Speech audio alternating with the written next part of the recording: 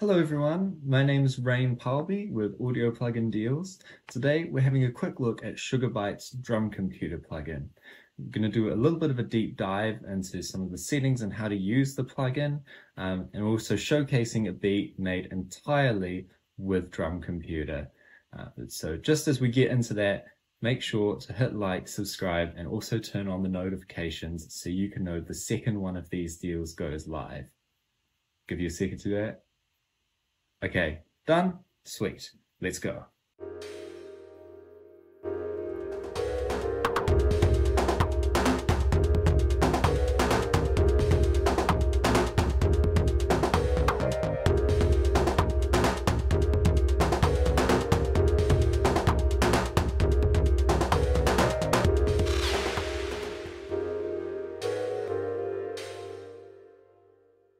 So, as I said, that beat was actually made entirely with drum computer, even the synths and bass parts. So there really is quite a lot of scope for sound design and creating unique and interesting sounds within this.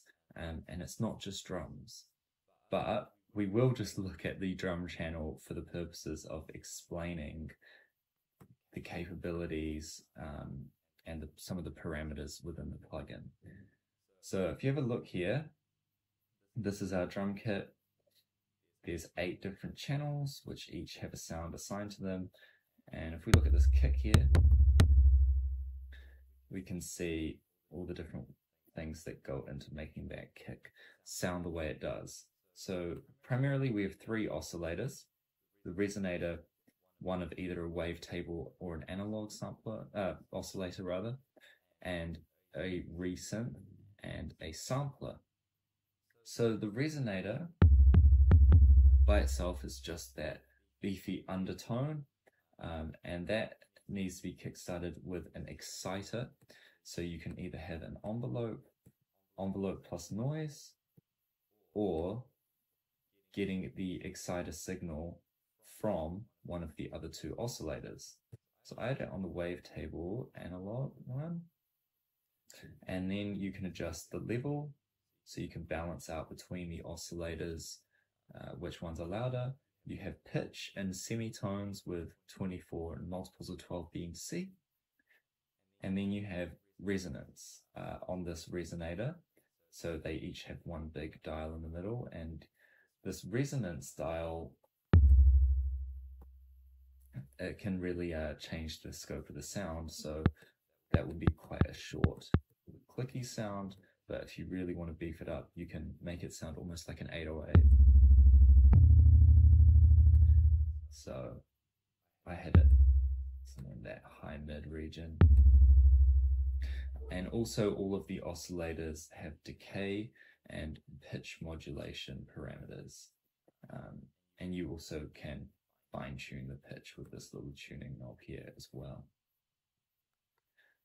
If we then move on to the wavetable oscillator, uh, this is a wavetable synthesizer, uh, which can be complex and really offer really um, rich possibilities in terms of creating new sounds. And so if we look here, we can adjust this wave parameter to set where in the waveform the wavetable starts. Or later.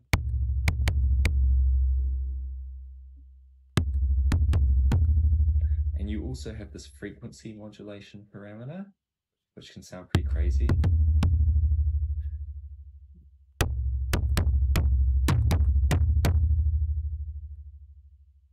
And again, pitch modulation and decay.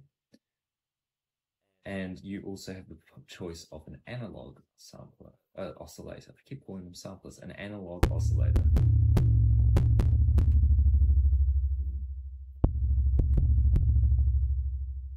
Which also has this wave parameter. And maybe this is a good way to demonstrate. You can see how changing this parameter affects that waveform there. If we jump back to the wavetable and then we bring in the resynth. so this colors the body of the sound. Uh, and so the color parameter is like a filter, high or low pass. So for the kick, we'll just have this low pass filter here.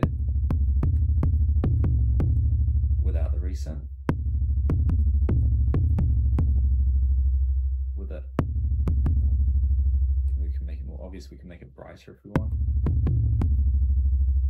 And the level up. You can do pretty crazy things with the pitch modulation. So there's quite a lot of possibilities just within those oscillators. Um, and you also have the sampler. So you can replace the resynth oscillator with a sampler, and this allows you to bring in external samples and actually bring in any samples you want. So if you click on where it says Doom Kick is the name of the sample I have in there now, if you go load sample, you can pull out anything from your computer or hard drive. Uh, so you can put in your own recordings if you wanted to and see how that meshes with drum computers built-in sounds and wavetables. Uh, and if it, we have it with the Doom kick, that's the kind of sound we get.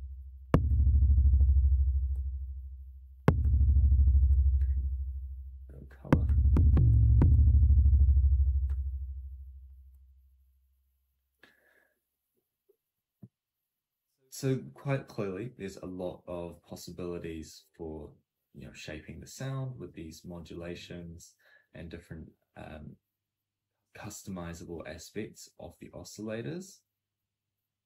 And you can do this for each and every part of your kit. And then, of course, you have a sequencer as well. Now, no drum machine will be complete without a sequencer. And so this allows you to put in where you want everything to hit within the loop. And what's really cool with the sequencer as well uh, is that it has the swing and humanize parameters, and these will allow you to get a bit of groove into the beat and not be as robotic if you want to have the notes land off grid.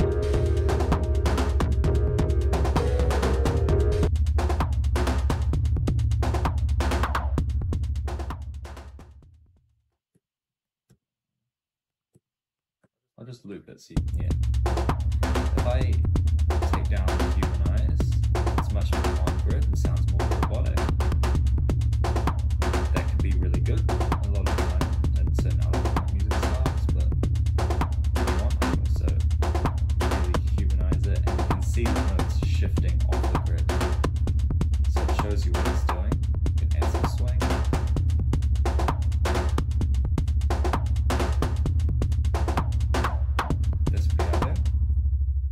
That's quite cool. So if you want to do this kind of loop-based production, uh, then you can have that in there, but you can also turn off the sequencer and just put in MIDI programming like with any other instrument. Uh, and the other thing is, as well as having so much room for customization and building your own unique sounds, uh, there's just really great sounds straight out of the box as well. So I'll pull up another instance of Drum Computer just to go through some presets and you can see the flexibility of it as well. Because obviously what we've been looking at so far is quite electronic, techno-y type music. But there's this preset I really like, and there's so many as you can see from all these different libraries. But I really enjoy, for example, the soul preset.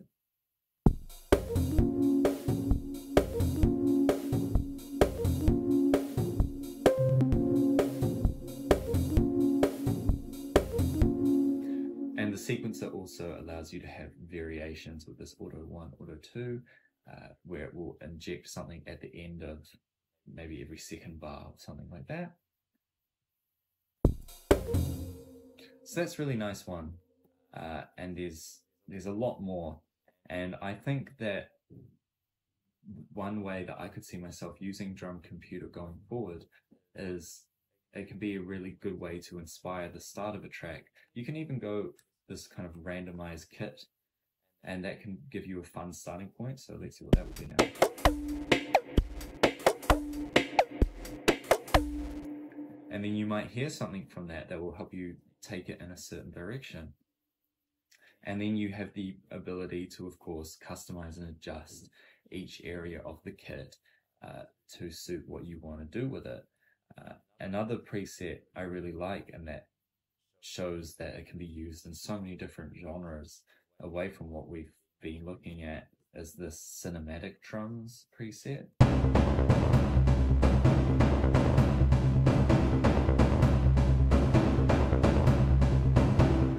Can hear something quite epic being built over that, perhaps with orchestra. As a guitarist, uh, I I could definitely hear how I could put some cool guitar riffs over that. And actually, this it just makes me want to pick up and play something. So I might try something.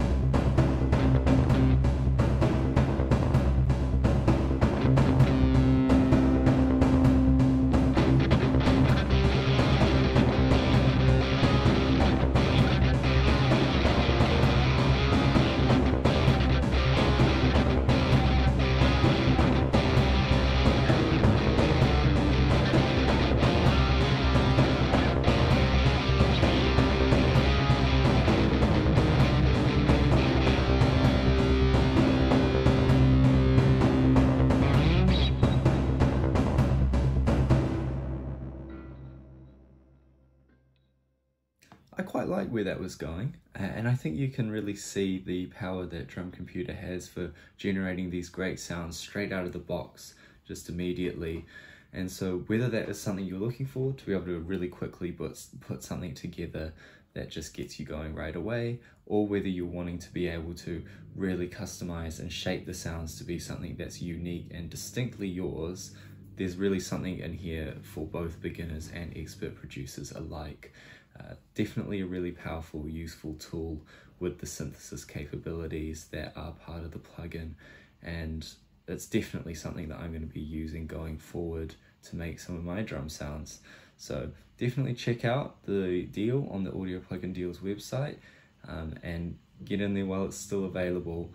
Um, this is genuinely a great plugin. So, um, I mean, that's all there is to say, really.